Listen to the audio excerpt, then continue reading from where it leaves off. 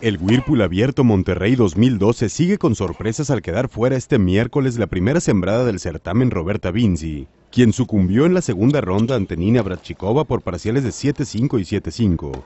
La rusa aprovechó los errores de la italiana e impuso su ritmo de juego para tomar el control desde el primer set.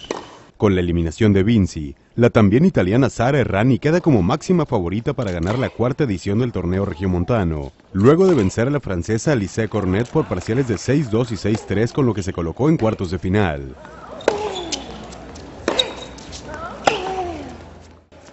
La segunda sembrada del evento marcó la pauta en el encuentro ante Cornet, quien sufrió intensos ataques de tos durante el duelo en la cancha central del Sierra Madre Tennis Club.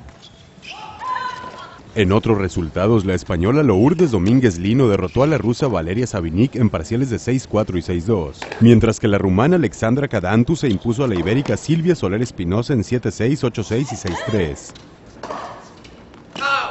Con imágenes de Cristian Córdoba e información de Pablo Garza. Cancha Grupo Reforma.